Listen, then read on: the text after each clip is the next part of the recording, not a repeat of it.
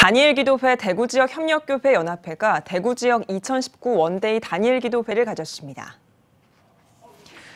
대구 지역 성도 1,300여 명이 모인 가운데 강사로 나선 CTS 콜링갓 진행자 브라이언 박 목사는 부르심을 따라 오직 하나님만 의지하고 기뻐하며 살아가는 우리가 되길 바란다고 전했습니다. 이어 한국교회와 나라 다니엘 기도회를 위해 합심으로 기도했습니다. 2019 다니엘 기도회는 하나님을 자랑하는 간증의 주인공이 되자란 주제로 오는 11월 1일부터 21일 동안 오윤교회에서 열리며 전 세계에 생중계될 예정입니다.